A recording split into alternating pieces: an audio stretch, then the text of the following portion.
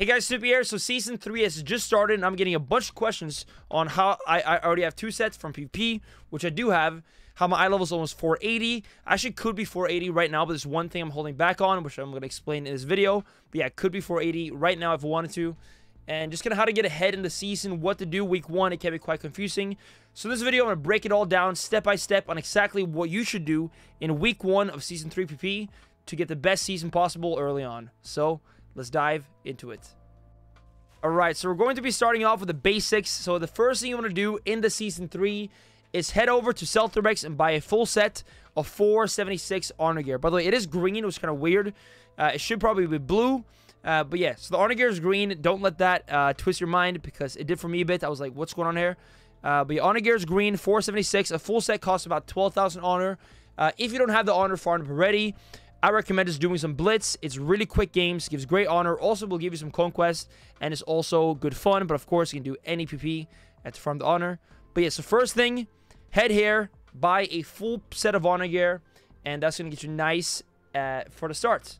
476 eye level. But now on to a few more things you want to do to get the purples and even some blues that actually could be better stats, even though they might be slightly lower eye level.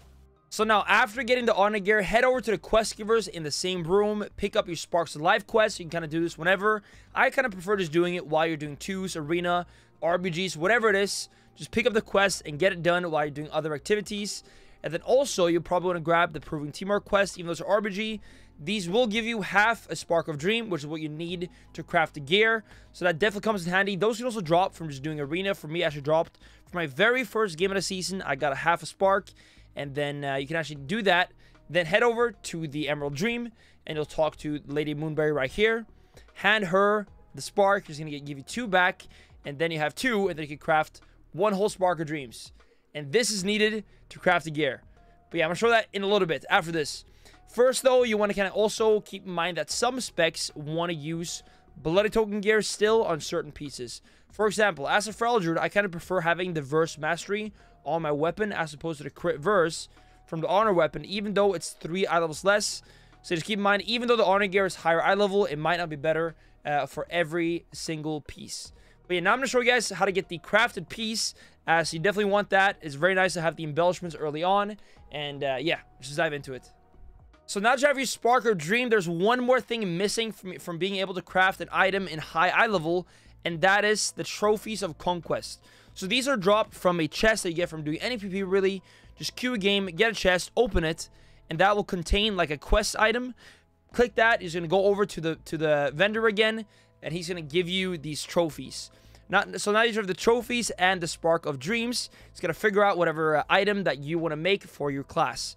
So this will depend, of course, on your spec. For me, as a Feral Druid, I opted for the in Infurious Foot Wraps of Indemnity first, and I made them, you see here, 489. Uh, so yeah, just go ahead and make that as one purple to check off the list early on. And probably want to get like a nice embellishment this one because, you know, so far you probably have zero embellishments. And as we know, they are quite powerful. So just get that one and craft it and you're good to go. So the thing I've been getting asked the most by far is how I already have two pieces of tier set. It's really huge for some specs. For it's absolutely massive. It's basically like a perma 10% damage increase in PP, or at least close to it. So yeah, how do you get two, two tier pieces? And it's probably more simple than you might think, at least if you don't know the trick. The trick, uh, and that is, the first one is very obvious. Just buy uh, 700 Conquest. What you might not know is that they made it so now we can actually craft or convert a piece of gear tier set in week number one. So just buy your piece. For me, it was the gloves. I bought the gloves. You come up right here to uh, the Catalyst place in Thaldraszus. is right above Tyrhold. You see like a big entrance in the mountain and just go over there, put your piece up, convert it to tier, and there you go. That is number one uh, tier set. I kind of recommend just spamming twos, like low CR, 2 to arena, whatever might be. But you can do RBGs, you can do even blitz.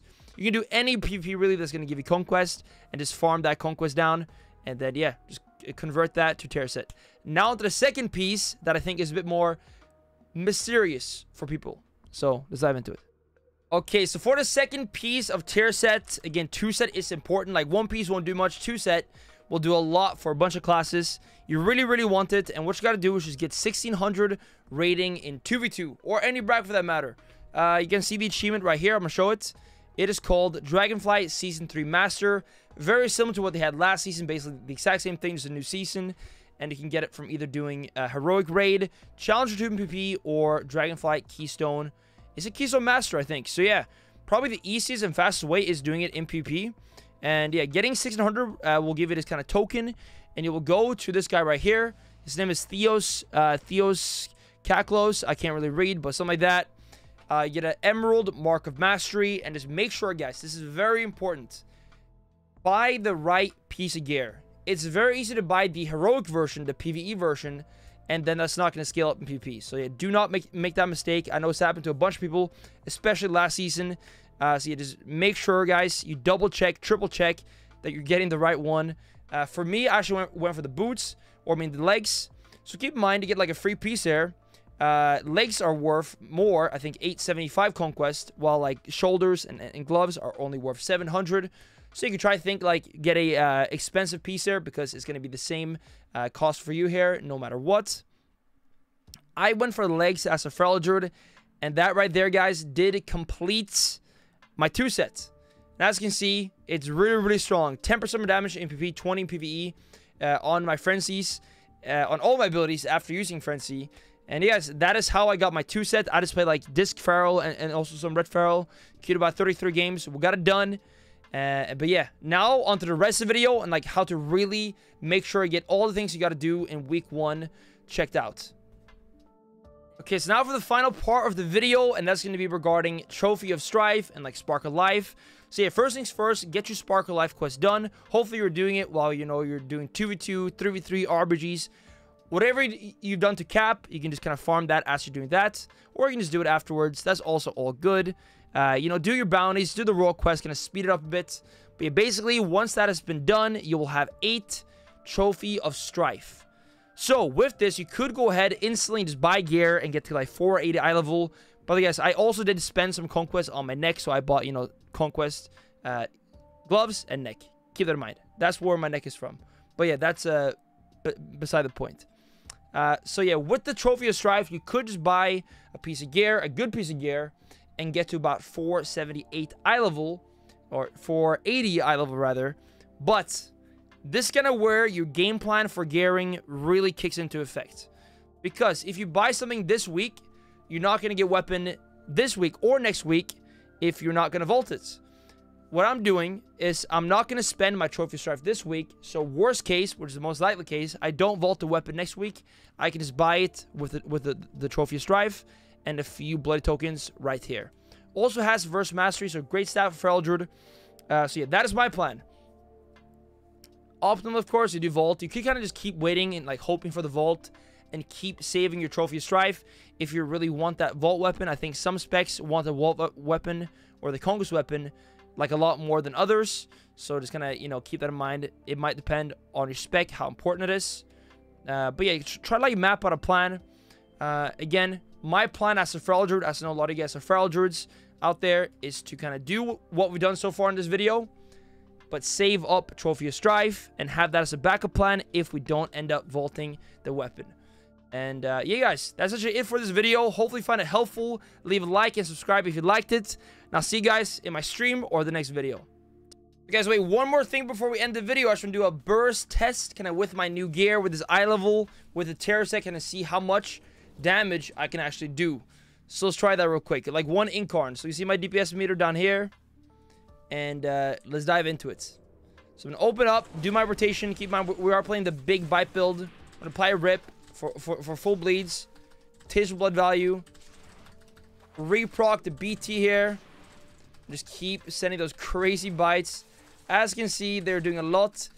If you want to like reproc your tier sets, you're just going to have to cast a Cyclone, get a Free Frenzy, and then bite again. That Free Frenzy will trigger your tier sets. Tiger's Fury still extended because of Raging Fury. And yeah. As can see, it's a lot of damage. Actually, not one bite crit, but 275k non-crit on a PP dummy. So, not bad. But yeah, there it is. Thanks for watching the video. I'll catch you in the next one.